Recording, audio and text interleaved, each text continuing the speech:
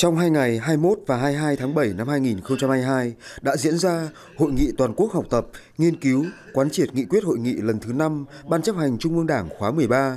Dự hội nghị tại điểm cầu Đảng bộ Bộ Công Thương có Thứ trưởng Đặng Hoàng An, Ủy viên Ban Cán sự Đảng, Bí thư Đảng ủy Bộ Công Thương cùng các đồng chí trong Ban chấp hành Đảng bộ, Bí thư các Đảng bộ, chi bộ trực thuộc Đảng bộ Bộ Công Thương. Hội nghị toàn quốc quán triệt nghị quyết hội nghị Trung ương năm khóa 13 do Bộ Chính trị, Ban Bí thư tổ chức theo hình thức trực tiếp kết hợp trực tuyến từ điểm cầu Trung ương và kết nối với 11.661 điểm cầu cấp huyện và cấp xã trên toàn quốc với hơn 1 triệu đảng viên tham gia nghiên cứu, học tập, quán triệt nghị quyết.